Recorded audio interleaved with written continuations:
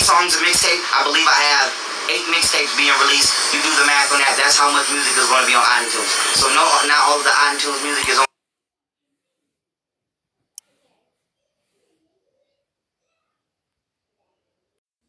Yeah, you do the math. Oh, no thanks. We're on vacation. You do the math. You do.